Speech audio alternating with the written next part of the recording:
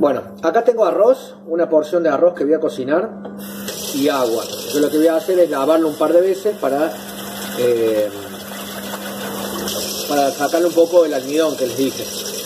Entonces yo les voy mostrando cómo se hace. Voy batiendo un poco los granos y va a tener este determinado este color, ¿ven?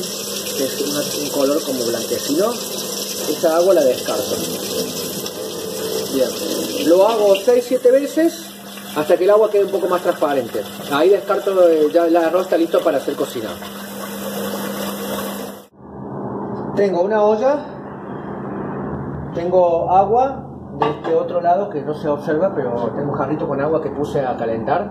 ¿sí? Es el agua que voy a poner eh, para cocinar arroz, dos partes de agua, una parte de arroz. Eh, podría directamente poner el agua el arroz, traer al bol, bajarlo y cocinarlo 15 minutos, como les dije, con la olla tapada y posteriores 5 minutos de descanso. Pero como le quiero un poquito de sabor, lo que voy a hacer es lo siguiente.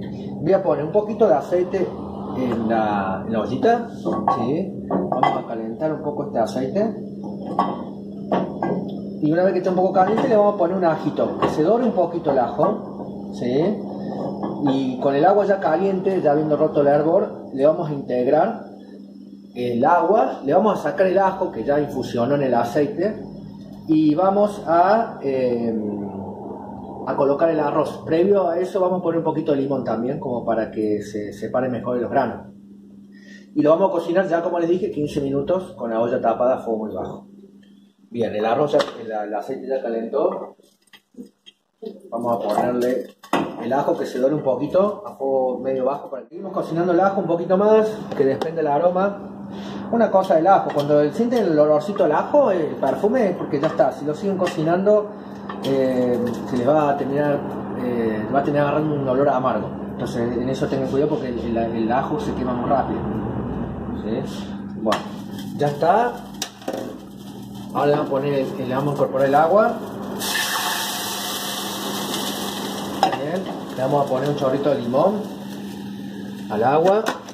Le vamos a sacar el ajo, le vamos a poner un poquito de sal para salpimentar y ahora le vamos a poner el arroz.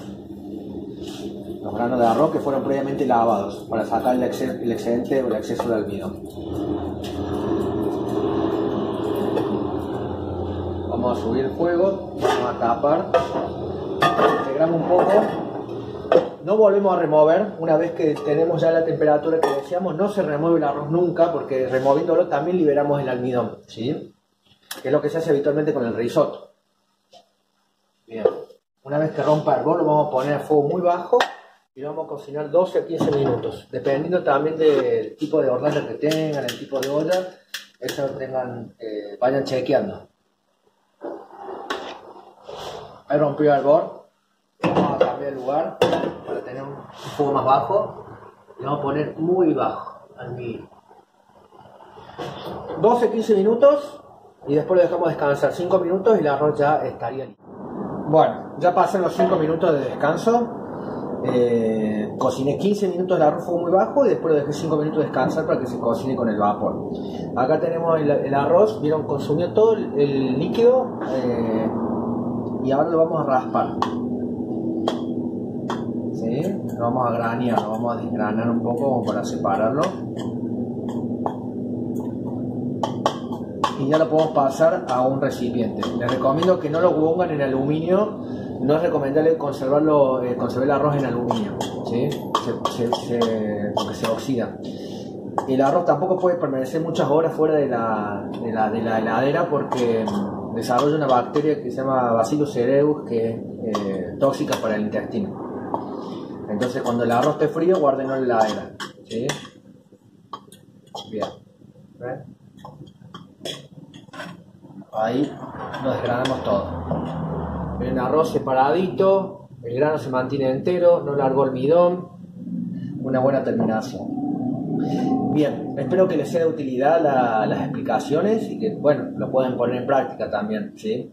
Para hacer un arroz hervido eh, que es algo que nos acompaña en nuestras rutinas diarias a veces, eh, no tiene por qué ser algo eh, no, no, agradable de comer, tiene que ser algo agradable. Entonces una forma de, hacerlo es esta, siguiendo estos pequeños pasos van a tener un buen producto.